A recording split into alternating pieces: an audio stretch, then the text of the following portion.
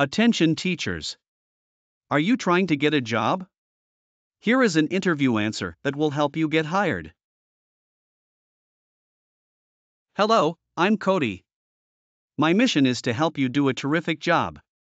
Let me show you how I would answer this job interview question. How would you support an underperforming student?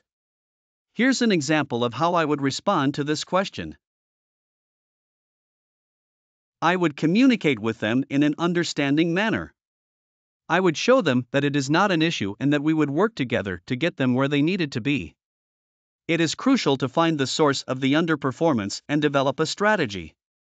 I would set aside extra time, perhaps after lessons, to explain the information and work hard to find a way of teaching they were comfortable with. It would be necessary for me to continuously and regularly monitor their progress throughout the extra time I would dedicate to them.